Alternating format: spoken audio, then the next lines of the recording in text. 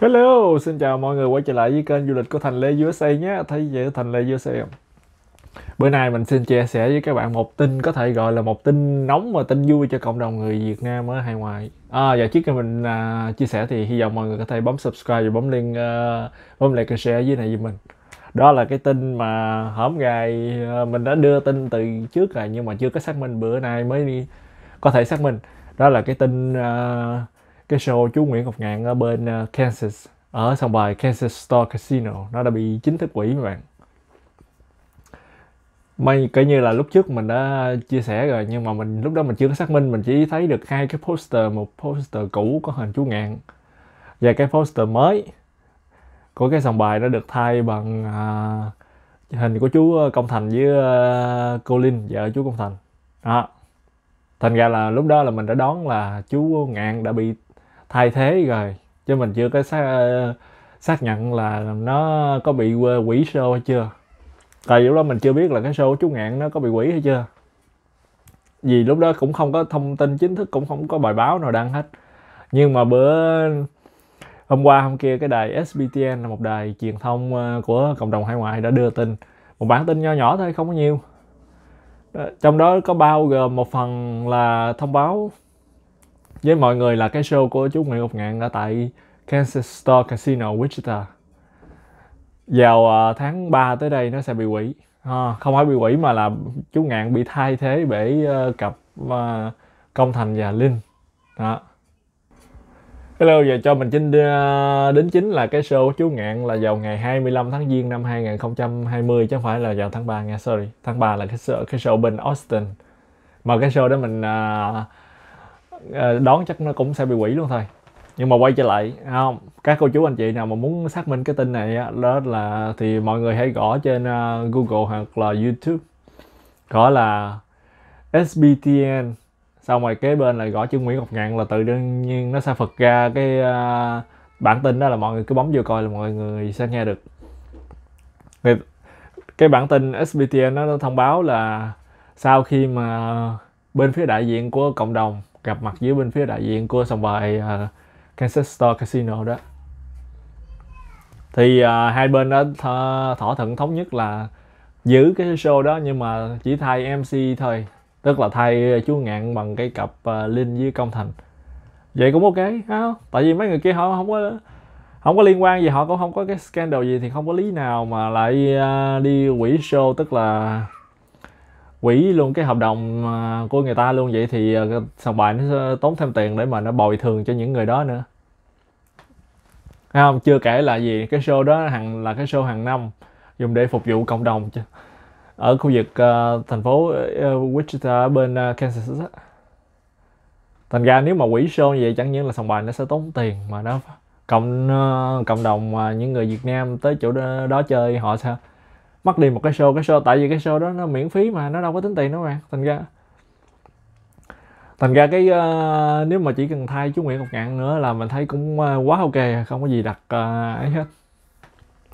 Nhưng mà nó nói lên một điều nữa là mọi người biết cái gì không? Cái quan trọng là nói lên điều đó là cái sự mà phản đối của cộng đồng và rất nhiều con người khác đã bắt đầu có tác dụng mà. Tại vì nếu mà mọi người có để ý thì những những người như mình à, những người làm youtube như mình á là bị uh, những người mà ủng hộ chú ngạn á hay là người ta hay ờ, gọi là đưa tin chú ngạn để mà gọi là câu view ha câu like ha câu cái gì đó không cần biết à, đại khái là để mà tăng ờ, tăng view rồi vân vân vân dùng đủ thứ đủ đủ thứ từ để mà gọi là chửi um sùm hết. Ừ. để chi? Rồi hôm bữa mình cũng có đưa tin là như cái cái bản tin 247 của ờ, chú Đỗ Dựa Dũng ông nói đó. Ừ. những cái người mà kêu gọi phản đối tẩy chay chú ngạn đó không biết có coi thí nga không thì ông không biết. À, chắc ý ông nói là những người mà kêu gọi phản đối chú ngạn đó chắc không có tiền để coi thí nga không tiền coi ca nhạc. Không thành ra kêu mọi người là cứ uh, vô tư phản đối đi không ăn nhầm gì hết. Đó thành ra bữa nay mấy cái tin mà mấy cái chuyện mà quỷ show nó đã được xác minh là coi như là ok à. Đó. Tức là cái cái sự phản đối của mọi người cái sự đoàn kết của mọi người đã bắt đầu có tác dụng rồi đó. À, trước tiên là mình không phải là mình à, thích thú gì à, với cái chuyện mà phản đối hay không phản đối gì ở đây hết á. Mình chỉ muốn nói lên sự thật là cái gì. À, không? Chú ngạn ông không có nên chơi cái bài mà gọi là im lặng được. Tại sao im lặng im lặng không có nghĩa là ông vô tội mà ông im lặng cũng không không có nghĩa là ông im lặng sẽ làm cho mọi người người ta bớt giận đi hiểu không? Dĩ nhiên mình thì mình dễ vậy đó hiểu không? Mình tại mình à, nhỏ cho nên mình ờ, đơn giản mình không có gì mà phức tạp hết. Nhưng mà có rất nhiều ờ, cô chú ờ, khác lớn tuổi ha người ta cảm thấy xúc phạm bởi cái câu nói mỉa mai du khống nước mỹ của chú ngạn đó ha thành ra là chú ngạn ông nên xin lỗi là xin lỗi mấy người đó chứ còn những thằng mà nhóc như mình thì không cần ha. Tại vì à, chú ngạn đó ông ở bên canada thành ra ông phản đối ờ, tổng thống trump cái máy gì nữa mình cũng không quan tâm lắm ok? Những người như mình vẫn sẽ ủng hộ tổng thống trump thôi ok? Nhưng mà hổm gài cái uh, những người một số người mà ủng hộ uh, chú ngạn bắt đầu uh, chửi uh, xéo những cái người phản đối uh, như mình hoặc là những bao nhiêu ngàn cô chữa uh, chú anh chị khác nào là cuồng Trump rồi ha, rồi chỉ là số lẻ tẻ hoặc là à, mấy đứa youtube câu views uh, ôi, ôi thôi mấy bạn nếu mà mấy bạn mà đọc mấy comment đó mấy bạn sẽ ù tay luôn á. À, thành ra bữa nay bữa nay là lần đầu tiên mà có một cái đài truyền hình. À, mặc dù đài SBTN tức là cũng là một đài truyền hình lớn uy tín của cộng đồng đó các bạn. Dĩ nhiên so với mấy đài Mỹ thì nó nhỏ hơn rồi nhưng mà gì nó cũng là một đài lớn một đài chính thức. Được nhiều người trong cộng đồng biết tới đó là một đài truyền hình. Nó chuyên môn đưa tin tức thời sự. Ừ. thì chỉ như những cái tin nó đưa thì là cái tin được xác minh chứ không có chuyện mà tin lá cải thành ra đúng là bắt đầu làn sóng mà gọi là phản đối chú Nguyễn Ngạn đã bắt đầu chẳng những không có giảm xuống mà còn tăng mạnh nữa. Đó, mà thành ra mình thấy vậy cũng là bình thường thôi. Đó là một cái kết cục có thể gọi là uh, xứng đáng dành cho chú Ngạn không nếu mà ông không tôn trọng uh, khán giả Mỹ ông không tôn trọng nước Mỹ ông không tôn trọng tổng thống Mỹ thì ông cũng uh, thì chú Ngạn đó cũng nên đi xứ khác mà làm ăn luôn đi ha mình chỉ nói vậy đó Đúng không? Nếu mà chú Ngạn uh, như chú Ngạn đã nói là nước Mỹ nó không an toàn ha.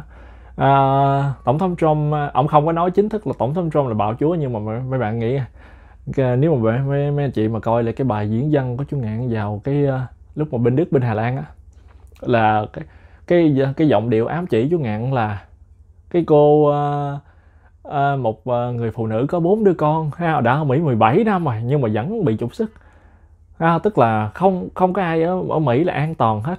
Đó ha, dưới thời ông Trump á, là nước Mỹ trở nên nguy hiểm hơn bao giờ hết. Đó mọi người thấy cái vấn đề trong cái uh, cái câu nói đó của chú ngạn không? Mặc dù ông không có ám chỉ tổng thống Trump là bạo chúa, phải không? Nhưng mà dĩ nhiên, nãy giờ mình lặp lại những câu nói chú ngạn, đó là cái cái điều mà bản thân những cái câu nói đó, nó để ám chỉ tổng thống Trump là bạo chúa rồi, phải không? Và đó là điều không chấp nhận được ha tại trước tiên tổng thống Trump là ông là một người người ta thắng đàng hoàng chính chính ha tổng thống Trump á, thắng 50 ờ, thắng 30 tiểu bang trên 50 tiểu bang không?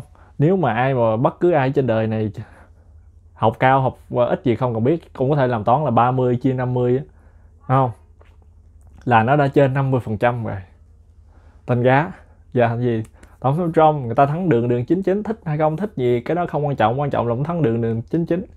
Nếu mà ngược lại á, à, bà Hillary bà thắng á, thì à, không biết là tổng thống Trump vẫn có, có à, thì không biết là chú ngạn những và những người như chú đó sẽ phản ứng sao nữa chắc là sẽ khen ờ, nước nước Mỹ nước nở là ô nền kinh tế Mỹ hiện giờ nó quá tuyệt vời. Không? Hay là các ờ, thỏa thuận thương mại với các nước đã trở nên tuyệt vời hơn. À, và nước Mỹ trở thành một nơi rất là tuyệt vời không? cho những cái lẽ đương nhiên đó các bạn.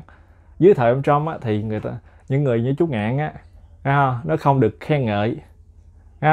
Chính xác là nó, nó bị ém luôn ha. Các đài tin tức nó cũng uh, mấy cái đài uh, fake news nó, nó cũng không có đề cập tới. Ha, như là CNN rồi đó. Ừ.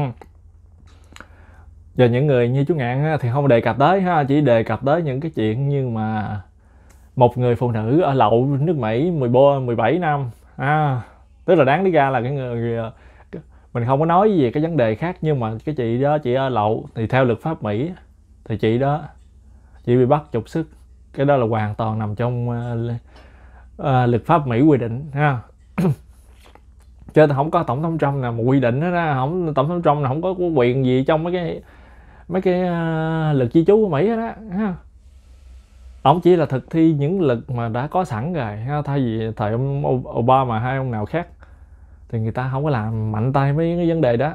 Thì bây giờ không làm vậy thôi đơn giản vậy đó ok video đã dài ờ, xin cảm ơn mọi người đã lắng nghe thời sự của mình ờ, nãy giờ đã chia sẻ.